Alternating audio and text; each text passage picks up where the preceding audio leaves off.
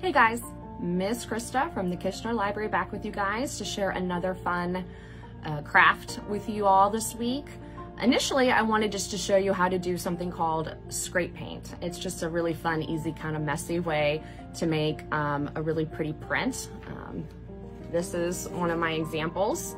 Um, it's pretty obvious once I tell you how to do it, why it's called scrape paint. I cut into a little heart because while I was doing this little project, I came to the realization that Mother's Day is this next Sunday. And I guess I got a little inspired on how I can turn these prints into something like a Mother's Day card. So then I started just trying to find ways to make Mother's Day cards just with all the stuff I had around my house. So today I'm gonna show you a few different easy techniques to make or ideas to help get your imagination going and your creativity flowing so you can make some homemade Mother's Day cards for the moms, the grandmas, your aunts, any of the women in your life who make you feel loved and taken care of. Um, they love, all ladies love the homemade cards and keepsakes. They'll keep them forever.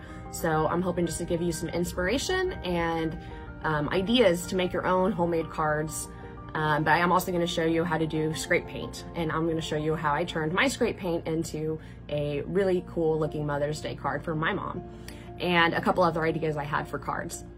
So let's go ahead and get started. All right, so here we are doing scrape paint. I just have a piece of watercolor paper. You can use cardstock, you can use um, some printer paper scrap um, sketch paper. Um, not that big a deal which kind of paper you use because if you're gonna kind of turn this into a card and fold it up, won't really matter too much. So all I've done here is literally just dollop little squirts of paint all over my paper. This is a cheaper craft paint. Um, it's actually better the thinner your paint is for this type of um, project. You don't want, here it is, super thick paint for this. So, as implied with the word scrape paint, I have a piece of cardboard here. I just cut it off the top of a box. And I am literally just going to start from the top and scrape down. And then we're gonna do it again on the other side. Just fold your paper and scrape down. And then anything that's left plain, there's still some paint on your cardboard. You can do another little scrape. And it's just that easy. It's scrape paint and it makes this really pretty stripy, dollopy print. And I don't know, I think it's kind of pretty. It's really easy to do. You can try different colors. You can um, do just one or two colors. You can do lots of colors and just kind of see how it goes. Um, so it's fun in that way. And it's really easy to do. So that is scrape paint. I'm gonna go do one more for you guys. And it's messy. You definitely want to put down newspaper, paper bag, something.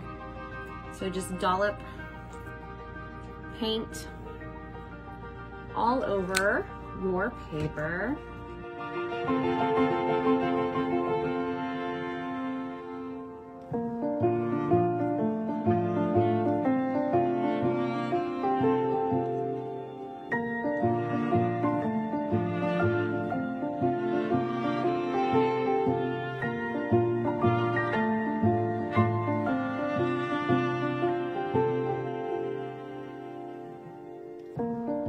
Right, so that was a scrape paint technique. And um, once it dries, and it won't take too long, it's pretty thin amount of paint on the paper, you can kind of decide what you want to do with it now. It's fine on its own. You could definitely turn this just print into Happy Mother's Day. And I'm sure whoever you give it to would very much appreciate it. You could fold it in half and right on the inside, there might be some paint on there if you were a little messy like I was, but that's okay. Um, but what I, I decided to do well, first I just cut out a regular heart. I just folded the paper in half, old school. Everyone knows how to usually make a heart, right? And that's a good idea. But I kind of liked that idea of making a lot of little hearts. So what I decided to do was to utilize my paper the best way possible. I folded my paper basically in like just a third and I cut a whole bunch of hearts out and I did this through the whole, my first one I did and I made these really pretty, I'm holding up against my chart so hopefully you can see the design and the beautiful color. I did all different sizes because I didn't know really what I wanted to do yet. But I also thought once I cut out the hearts that this was really kind of like a pretty little heart frame. So before I would start the next row of hearts, I went ahead and trimmed off that whole row of my heart cutouts. And then I cut those um, into little squares.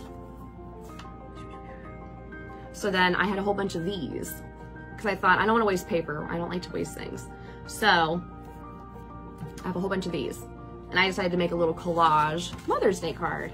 So I glued the little heart frames and wrote a little message on the inside and glued some of the hearts on the outside of this. So, you know, thank you, you're the best.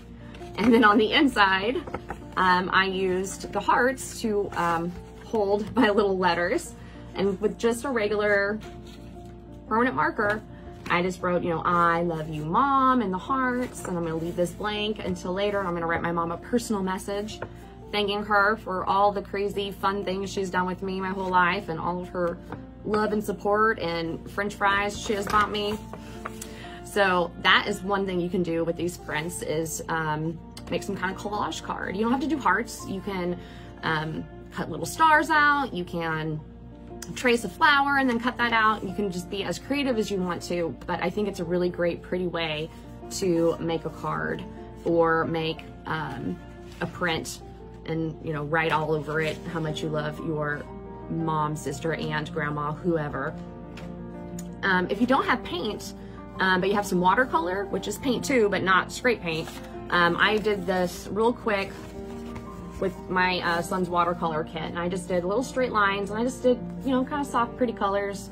Didn't really worry too much about blending it and making it perfect because in the end, I was going to do the same thing, cut out some shapes and stuff, or of course you can just fold it in half and you can draw on it, you can write on it, and it's a really beautiful, colorful card um, that you've done yourself. And moms always, and grandmas, they all appreciate homemade, creative things that you did yourself. They're always very proud and excited to receive those types of things. So watercolor, same concept. Just make a beautiful print with lots of colors. You can do any colors you want.